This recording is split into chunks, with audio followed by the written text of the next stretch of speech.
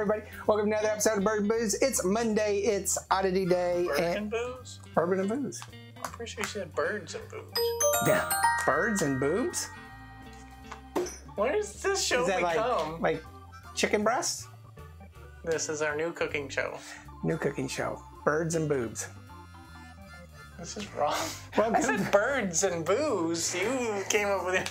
Welcome to another episode of Bourbon and Booze. There you go. Um, it is Monday and it's an oddity day. So if you like what we do, make sure you hit that like and subscribe. It does mean a lot to us. Um, we're really excited um, to have you here with us and to leave comments, having great conversations with y'all. Uh, unfortunately, Andy's not here. Don't know why. He just, we waited, we waited. He hasn't showed up. So he'll probably walk in in the middle of this recording, or maybe he's still not feeling well, but uh, could be sleeping. He works nights, and it is night. So, um, this is the um, rum that my wife has grown to love more than any other rum. She's a rum person. It just gives her like fast palpitations and stuff, so she doesn't drink it very much The sugariness. the sugariness, but this is Appleton Estates eight year reserve rum, and she likes Appleton Estates. It doesn't do all that weird, funky stuff to her. And she got this on December 25th, Christmas of last year, and we're just now opening it. I am surprised that she didn't open it. I'm actually surprised we didn't open it on Christmas. I believe that Santa, go ahead. I believe that Santa gave it to her this modern technology of shrink wrapped stuff eludes me. And it apparently is eluding you. No, it's just. We had to get under them.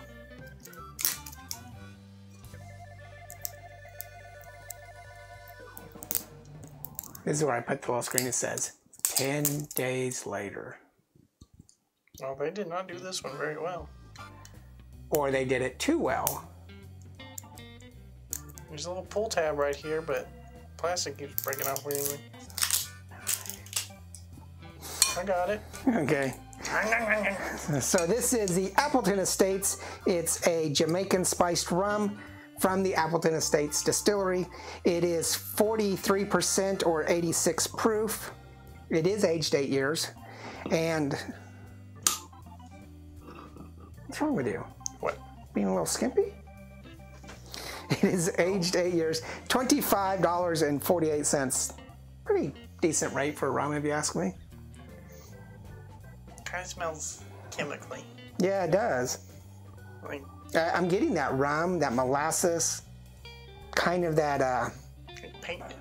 dark, charry wood, but it's got a medicinal, chemically aspect. Like, um, okay, so there's there could be a slight problem because I'm getting like nail polish remover, and my wife just removed No, all of her I'm getting nails. that kind of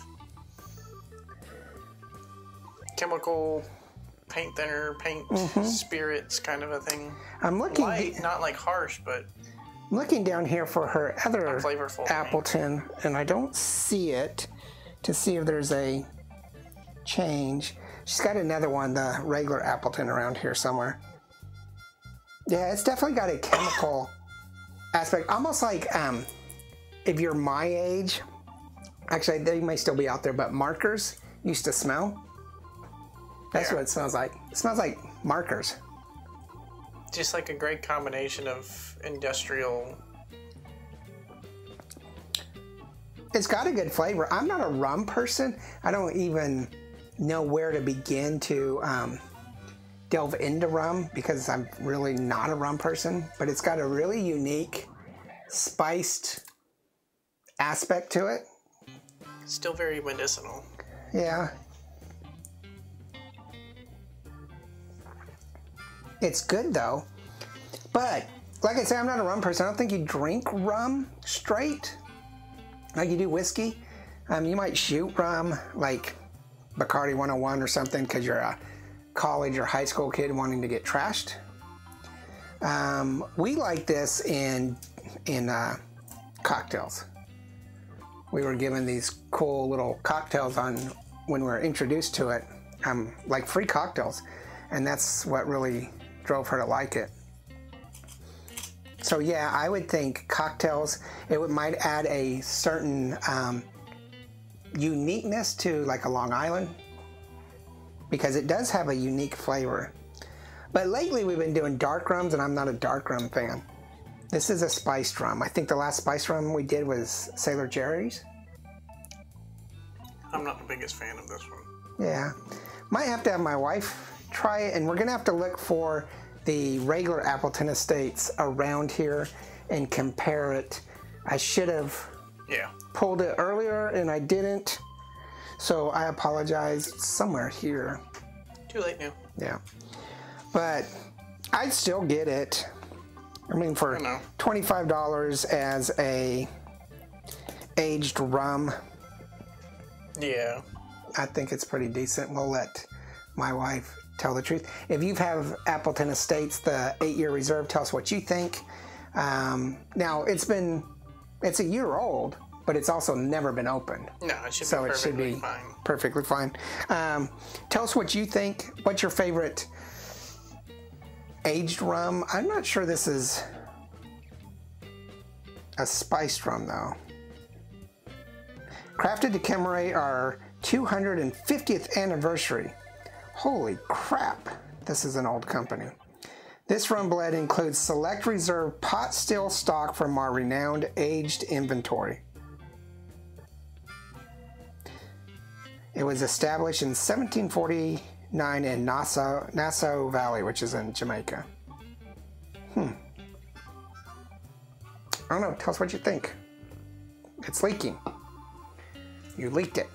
Tell us what you think. Make sure you hit the like and subscribe. Uh, check out all of our other videos Monday through Friday. Tomorrow we got some uh, really kind of unique off the wall whiskey that you won't be able to get here in the US, but if you're in the UK, you can, so check it out.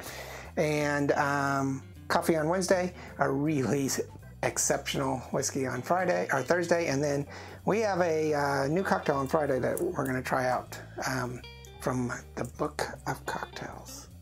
So we're going to introduce that for now on. Just the book. of Cocktails. All right, tell us what you think. Have a great time. Check out Instagram, Facebook, Twitter, and merchandise, and we'll see you tomorrow. Cheers. You didn't like it, but you ate, drank it all. Can't just let it go to waste. It's not like I can pour it back in.